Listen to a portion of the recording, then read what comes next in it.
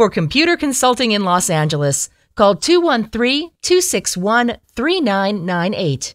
Hi, everyone. My name is Brent Whitfield from Dependable Computer Guys, and we do computer consulting in the Los Angeles area.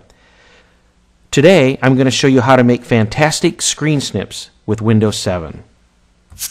The cool thing about the Windows 7 screen snipping utility is that it's really fast and it's easy to use, and you can use it to better communicate with your employees and colleagues because it, you can take parts of your screen, capture it, save it to a file, or easily paste it into an email so as to make it easy to communicate with them. And I think the best thing about it is that it's free. So in today's tutorial, I'm going to jump out to the Windows 7 screen utility and I'm going to show you how to make a snip, how to annotate your snip using the highlighter, the pen, and the eraser.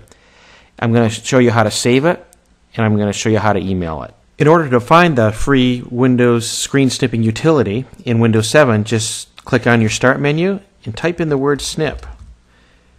The first program that comes up is the snipping tool.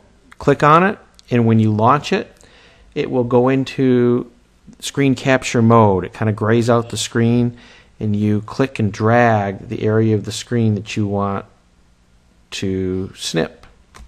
When you let go, it pulls up the handy snipping tool utility and lets you make save it or whatever. I'm going to show you today how to annotate it. For example, if I wanted to communicate to my team that I wanted to highlight this area, I can do that. It's kind of neat. There's also a eraser in case you make a mistake.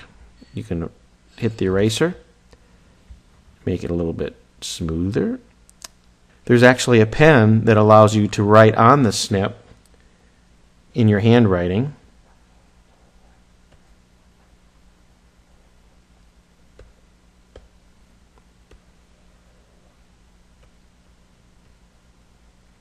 Which is kind of neat.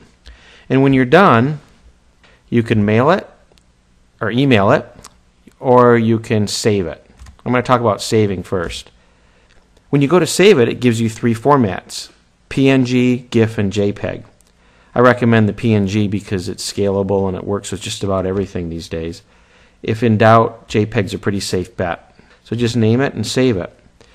The feature I like best, though, is when I'm emailing it, I like to click Edit, Copy, and that copies the snip along with the annotations and allows you to jump into, say, another program and paste it. If you wanted to paste it into your email, you'd simply create an email message and paste it. So it works really well for quick screenshots sending to colleagues and friends. Finally, uh, the last thing you can do is using the email drop down, you can actually just send it as an attachment. And it launches your mail client and sends it as a as a JPEG. So there's three ways that you can handle the snipped images with that tool. If you're ready to make a second snip, you just hit New, come out here and highlight the area that you want and snip it. After you've done annotating it, you can send it. There you go. So you've learned today how to find the tool in the by searching for the word snip in your Windows Start menu, how to make a snip, how to annotate it with the highlighter and the pen, and how to save your snip and how to email your snip. I hope you enjoyed the utility and that you'll be able to make good use out of the Windows 7 screen snipping utility.